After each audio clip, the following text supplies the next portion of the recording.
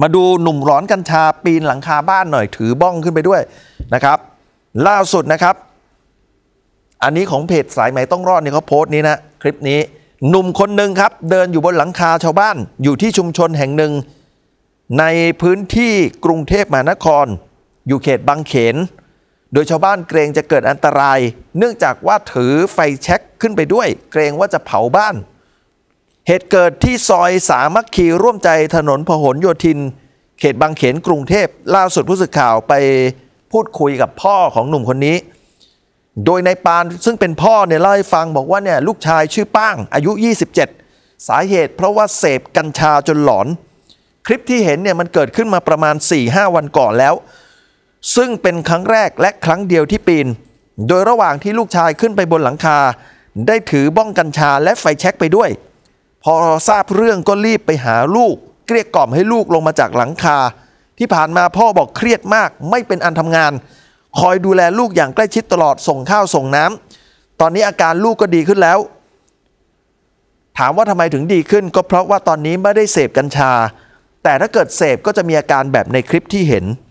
อยากจะพาลูกไปบำบัดเหมือนกันนะเเคยติดต่อหน่วยงานที่เกี่ยวข้องเนี่ย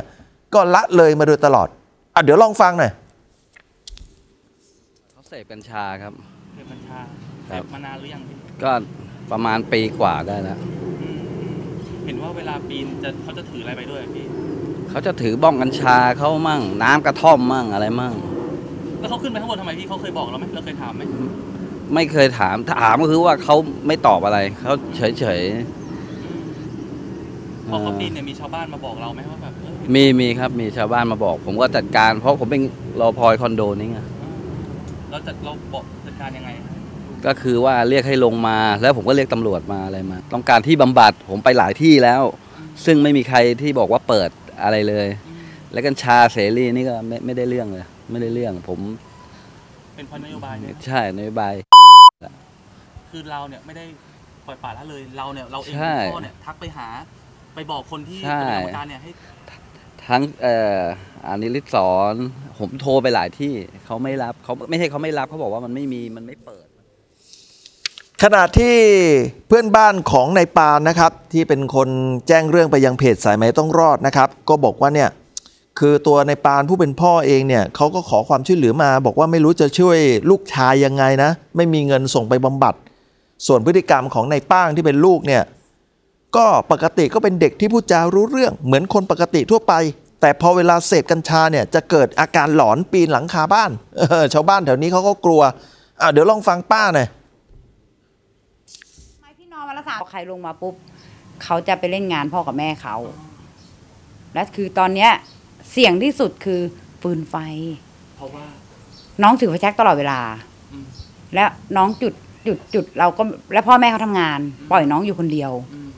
แล้วถ้าเป็นอะไรขึ้นมาเนี่ยอยู่กันอย่างเงี้ยเนี่ยพี่ออกทันไหมแม่พี่ก็แก่พ่อแม่พ่อแม่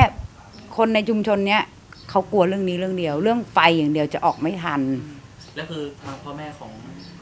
น้องป้างเนี่ยเขามาพูดกับเราว่าไงเขาเครียดไหมเขามาปรึกษาเรา เพราะเราเรามีเคสของเราอยู่ อืม พี่ก็ส่งลูกไปรักษา ครับ แต่พี่มีกำลังเงิน อืมคือพาไปค่ายที่เสียตังค์ อืม ไปรักษามาปีหนึ่งตอนนี้บวชเขาก็เลยมาปรึกษา เราก็บอกว่า อย่าพูดกับลูกอย่างนี้ อย่าขังลูกอืมพยายามคุย คุยให้แบบให้ลูกเข้าใจเราแล้วเราก็อีกวิธีหนึ่งก็คือ หาที่รักษาลูก นี่นะครับคุณผู้ชมฮะเอ่อก็อยากให้เอาตัวไปบำบัดนะ ทีนี้พอรายงานบอกว่าเนี่ยแหมเสพกัญชาหลอนปีนหลังคาบ้านเนี่ยเดี๋ยวสายเขียวนะ สายกัญชาเนี่ยเขาจะมาตำหนิผมมาแย้งผมอีกว่า เฮ้ยพี่บรรจง กัญชาไม่มีอาการอย่างนี้กัญชาอีกแบบหนึง่งกัญชาแล้วจะล่าเริงอะไรต่างๆแบบนี้เนี่ยอย่างอื่นด้วยหรือเปล่า อันนี้ก็ไม่ทราบเหมือนกันนะเพราะว่าตามข้อมูลเนี่ยเขาบอกว่าเนี่ยเสพกัญชา ส่วนว่าเนี่ยแอบผสมอะไรลงไปหรือเปล่าเนี่ยอันนี้เดี๋ยวนะต้องถามให้ดีๆนะถามให้ละเอียดหน่อยนะเออเดี๋ยวจะหาว่าเนี่ย